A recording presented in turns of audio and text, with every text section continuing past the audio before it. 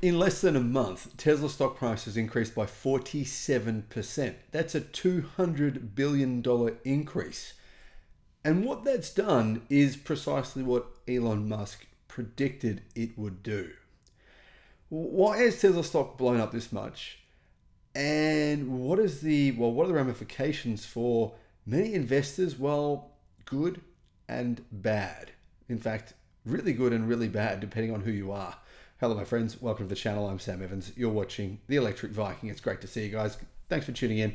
Now, guys, Elon Musk has said the shorts who are shorting Tesla will be burned. They'll be, in fact, destroyed, annihilated. He wasn't referring to now, by the way. He's referring to next this time next year. In essence, he's predicting that Tesla stock will have its Nvidia moment and possibly even surpass Nvidia. Uh, in fact, he's predicting it will surpass Nvidia, but not. He doesn't give a timeline on when. Now, is Musk right? Who knows? But we do know that many shorts have had their their pants pulled down once again, their shorts pulled down once again. I'm just imagining these these fat old men with their pants down running around. yeah, not a nice sight, I know. Anyhow, this is quite an interesting situation here because many shorts jumped in. Tesla stock price, right? A month ago was at about 170 US dollars. Many shorts were, well, at that point in time, Tesla was the most shorted stock in the US. And, well, as you can imagine, a 47% rise over the past about 28 days. 47%. I mean, imagine being in that situation. Now, on the flip side, many of you said um, to me, I got emails saying, oh, Tesla stock has collapsed and I'm, I'm, I'm, losing my life savings and what should I do? And I said, guys, this is not an investment. Uh, if you're going to invest in any company, it doesn't matter who it is, Tesla or anyone else, you don't do it for a month. You don't do it for six months. You do it as long as you think the business is worth what what, what you think it's worth. So let's say you come in and you think this company is worth X or it will be in five years. That's why I'm investing. That's why you do it. You don't do it because everyone else is doing it. It's all the hype is generating popularity. That's the worst possible reason to do it.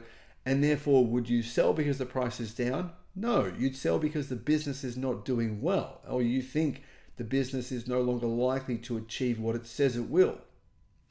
Clearly, that is the reason why so many investors have jumped on board and Tesla stock price has gone crazy 200 billion rise in a very short period of time. And I mean, what Tesla stock was at $140 a few months ago. 140, it's now at 257. What a difference that is, right? Who would have thought? I think a lot of people saw it at 140 and went, wow, what an opportunity to you guys that had the money. Uh, the key is having the money. You might think it's good, but you think, well, what can I do if I've got a couple of thousand dollars?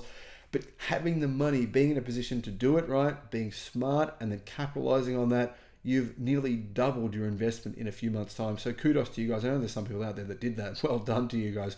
Why? But what has driven this meteoric rise in the price of Tesla Tesla stock? Well, it started about a month ago, so it's got nothing to do with Tesla's recent deliveries. Uh, maybe a little bit. I mean, there's a five percent rise after that. Really, really insignificant five percent. People, a lot of people saying electric, saying, "Oh, it's because of the energy storage." Well, the thing was, we found out about this enormous increase in energy storage, 9.4 gigawatt hours installed worldwide, deployed worldwide, massive. That's Tesla's biggest quarter in, or biggest quarter in energy storage by more than double ever in its history. And that's great, but that only increased the price of the stock by maybe, maybe, maybe 10%. Not really the driving reason. I think that's very clear. The driving reason is Tesla's supercomputer. Now, that sounds ridiculous. It's a computer. Who, who gives a shit, right? Well, investors do. Investors believe Tesla is close enough to solving full self-driving. They believe Tesla has received you know preliminary permits in China. There's a reason for that. It's good enough, and it will get there probably within the next six months. That's what a lot of investors are saying on forums, on Reddit, etc. Now, this doesn't mean it will happen. I'm not saying it will. And in fact, I believe it will happen. I'm not saying I know when though. Whether or not six months, twelve months, two years, I don't know. But it almost certainly will happen. Considering how good it is right now, it's not a question of if, I should say it's a question of when will it happen. Now, intriguingly, if we have a look at some of the hedge funds that shorted Tesla, um, Bloomberg News said about 18% of the over 500 hedge funds being tracked by data provider Hazeltree held a short position in Tesla at the end of Q2 2024. 18% of 500 hedge funds, they're the biggest in the world, right? And, and one in five of them. In other words, nearly a 100 hedge funds are shorting Tesla even now. And they were, um, what, a month ago. So in that month, since they've been shorting Tesla, uh, the price has gone up by about 44%. If you look at exactly 30 days from today, 44.5%. Imagine if you were invested in one of these hedge funds and you had no idea what these idiots were doing, right? Here's the thing. I know I know these hedge funds still think Tesla's just a car company. That is crazy. You now you basically now you've got to say Tesla will not achieve full self-driving. It will not um, be able to ma- manufacture robots. Those two things won't happen. Therefore, the company will fail. Now, maybe you would say that if like Tesla was in debt, like a lot of these companies are, a lot of these artificial intelligence companies have massive amounts of debt, and they have really no product to say that their their their um, their invention or their software will ever work. Then it's a very high risk. But I think with Tesla, it, the question, like I said, is not a matter of when will they solve full self-driving or when will it be approved and when will they have Tesla bots. The question is when will those things actually happen? When will they be um, in the market? What will the price be? They're the real questions here.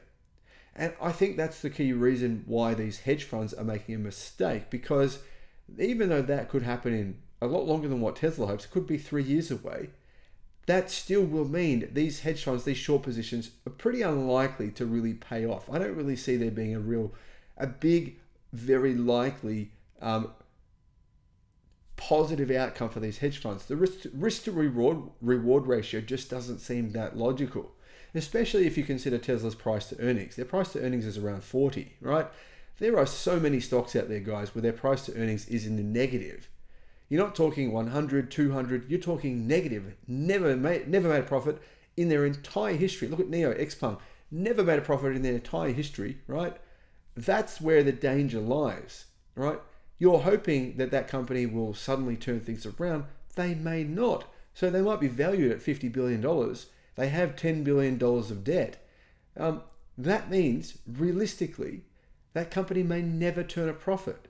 And that, in my opinion, is probably a situation more, much more risky, right? Than shorting a company where their price to earnings ratio at about 40 is what half of what Amazon is at. Anyhow, here's what Sawyer Merritt said. Hedge funds piled into short bets against Tesla right before it announced delivery numbers that triggered a 20% stock rally. 18% of the 500 plus hedge funds tracked by Hazeltree had an overall short position on Tesla at the end of June, the highest percentage in more than a year. And clearly, these hedge funds are tying their decisions to do well directly with Tesla's sales of vehicles, individual vehicles. That's what they understand. It's simple. Look at Tesla's numbers. How many cars did they deliver in the last quarter? Oh, the first the first quarter of this year, the numbers were less, right? So therefore, Tesla bad. Therefore, we'll win. But I don't think it's that simple anymore. Artificial intelligence is really the key here. Now, in a Fortune report, Tesla became the butt of jokes on Wall Street because the stock trailed the rest of the Magnificent Seven by a substantial degree, and its growth, well, seemed to have stopped.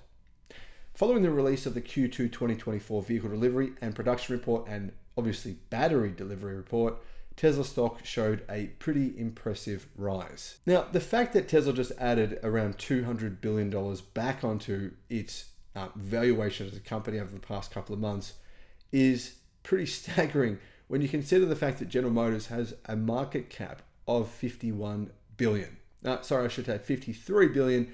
Ford is at 51 billion. So that still means Tesla is worth many multiples of General Motors and Ford put together. But what does that tell you about what Tesla is? Is it a car company based on what investors believe? Well, clearly not. Thanks for watching.